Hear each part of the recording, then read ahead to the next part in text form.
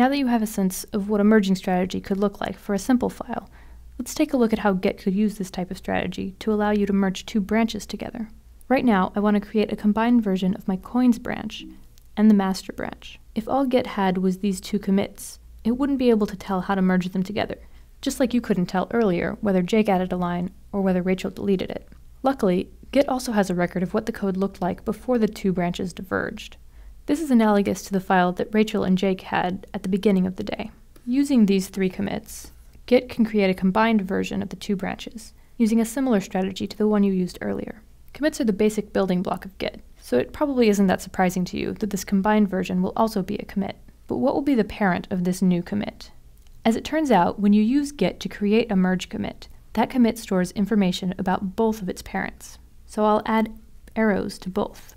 Since the goal of this merge is to get the content from the coins branch into the master branch, I'm going to want this new commit to be the new tip of the master branch.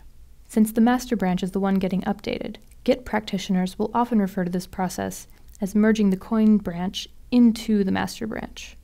After the merge, the master branch will include all the changes that it had before, plus the changes from the coins branch.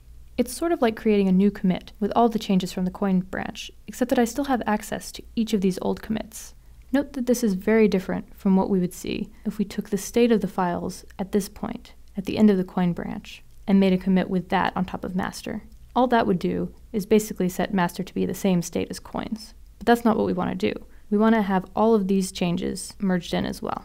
Once we've successfully merged the two branches, we won't need an easy reference to this commit anymore. We'll be able to reach it through the master.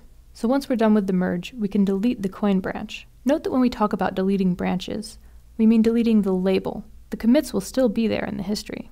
However, if no branches can reach the commit, deleting a branch does effectively discard its commits. So if you deleted the coins branch without merging it in first, you would essentially be abandoning these commits, since they would all become unreachable. After you create the merge commit, which commits do you think would be included if we ran git log on the master branch? For each of the commits with a checkbox next to it, check whether or not you think it would be included.